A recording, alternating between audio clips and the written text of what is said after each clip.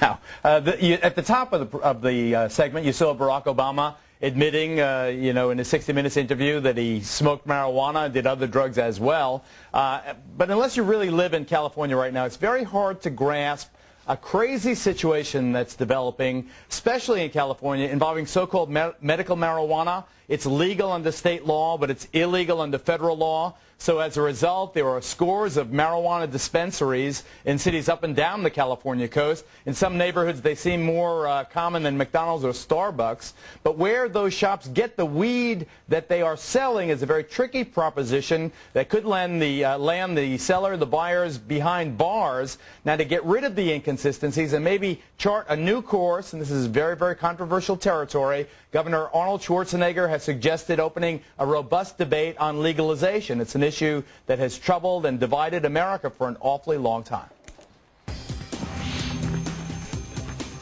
Do you feel that there's something incongruous about the fact that you're on the, you've been asked to join the President's Commission Against Drug Abuse and the American Bar Association uh, Council Against Drug Abuse, and here you're being thrown out of the country because of a, an arrest for pot that goes back a year? Uh, they're asking us to become um, artists in residence for New York City and to help awareness um, in the city of art and music and, and love and peace and love, you know. The attempt by the Nixon administration in the early 1970s to use an old pot bust in Britain as the reason to deport anti-war activist John Lennon is one small example of one of the longest running arguments in American society.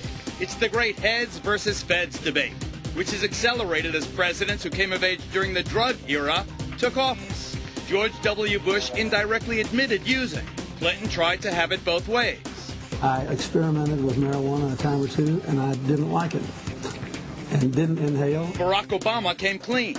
I inhaled uh, frequently. That was uh, that was that was the point. I'm always for an open debate on it, and I think that we ought to study very carefully on what other uh, countries are doing that have legalized marijuana. As he gets set to leave public office, the California governor has reignited the passionate debate.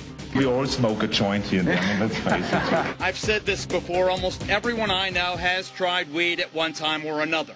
Most of you watching have tried it. Not all, but most. But despite that almost universal experience, arrest for pot possession is still far and away the most common criminal offense. Item 2007.